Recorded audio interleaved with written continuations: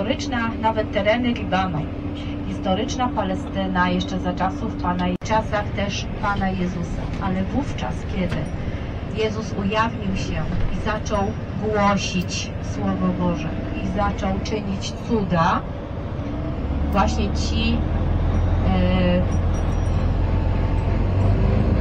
Judejczycy przede wszystkim, ale też mieszkańcy całego kraju, którzy byli wyznania mojżeszowego, oni przeszli na chrześcijaństwo. Czyli pierwszymi chrześcijanami byli Arabowie, judeo-chrześcijanie. Jak przyszedł tutaj islam w VII wieku, w 636 roku, ponieważ kraj był mocno uciskany, gnębiony i też dużo pogaństwa e, i pogańskich znaków dostawało się do religii chrześcijańskiej, to poprosili e, chrześcijanie z Ziemi Świętej, kalifę Omara al-Khattab, e, podpisali umowę, która jest akceptowana do dzisiaj oczywiście. No i też Turcja tak zwanym statusem w 1800 kwitowała własność e, poszczególnych odłamów chrześcijaństwa. Także ten status do dzisiaj obowiązuje i jest przestrzegany przez wszystkich. E, miejsca, do których e, pójdziemy, niektóre z nich będą dzielone wspólnie z różnymi odłamami chrześcijan, niektóre z nich będą wyłączną własnością. I wtedy ja powiem właśnie, jak się w Jerozolimie nazywa się Neset. Będzie dużo różnych nazw jest tutaj religijnych. No i mieszka tutaj dużo też religijnych Żydów. 10% całego społeczeństwa są właśnie religii. Wszystkich chrześcijan w ziemi świętej. Także gdziekolwiek nie pójdziemy, gdzie są miejsca religijne, czy dzielnice chrześcijańskie, czy domy chrześcijańskie, to one są oznaczone po prostu e, wizerunkiem świętego Jerzego. No i najpiękniejszy, oczywiście ten e, e, bardziej realistyczny i trzywymiarowy wizerunek będziemy oglądali już po Waszym powrocie z Jordanii w Betlejem w Kościele Narodzenia Pana Jezusa, który jest wybudowany nad grotą Narodzenia. E, będziemy kroczyli też drogą krzyżową w Jerozolimie. Będziemy zwiedzali różne miejsca poświęcone, e, czy to Maryi, czy to Jezusowi, e, czy różnym innym wydarzeniom religijnym.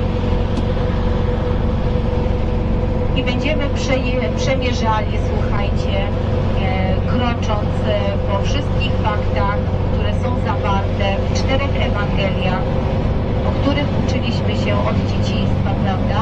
Będziecie praktykować te wszystkie miejsca tutaj teraz. Osobiście będziecie mieli okazję być w nich, się udać do najbliższej synagogi, która się koło nich znajduje na czas modlitwy. No i spędzany jest w ogóle czas rodzinny. Najważniejsza jest szabatowa kolacja, która się rozpoczyna w piątek wieczorem. Też jest bardzo ważny obiad. Za to odpowiedzialna jest e, pani domu.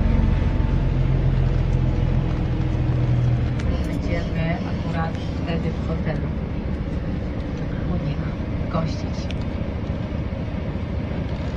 jest około 393 km, ale gdybyśmy spojrzeli w linii prostej, to jest około 191 km.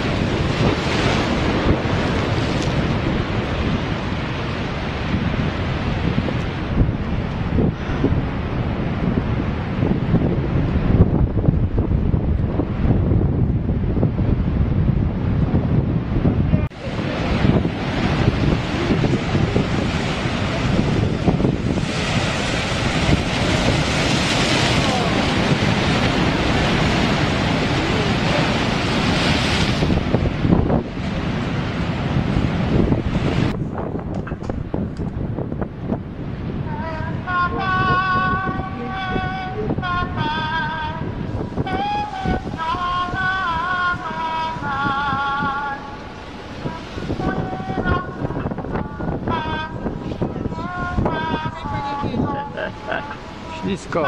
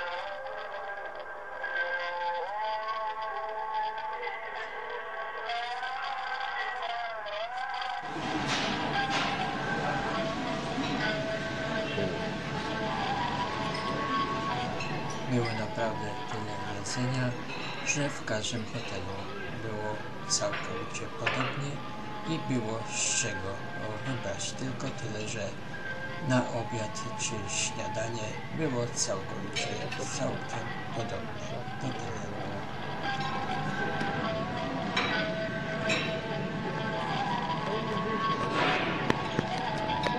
Końcówka była.